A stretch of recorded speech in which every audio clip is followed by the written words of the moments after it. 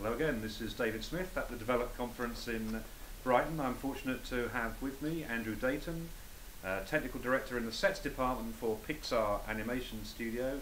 Uh, Andy, please can you tell us a bit about yourself and Pixar?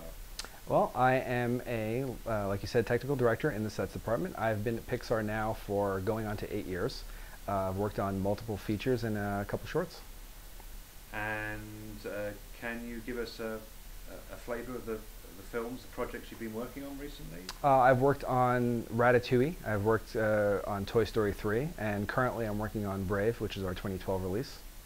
And what about uh, your role at Pixar? What do you do in these projects? Uh, I do environmental modeling, uh, which is usually you know anything architecture, prop based, uh, non-character, and uh, yeah, that's uh, that's pretty much it.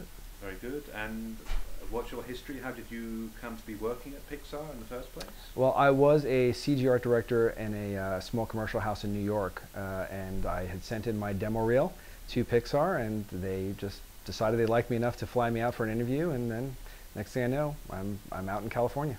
Fantastic. And uh, why is Pixar a, a, great place to work?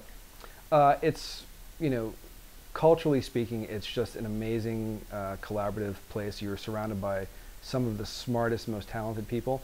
And the one nice thing is that we all believe and love our projects and our films.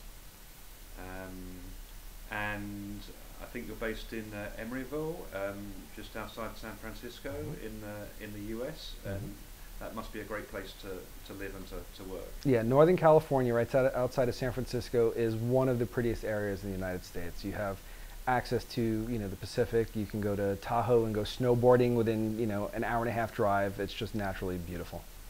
Fantastic. And um, I think you're opening a satellite uh, office in Vancouver. Is that right? Yeah, we have uh, Pixar uh, Vancouver.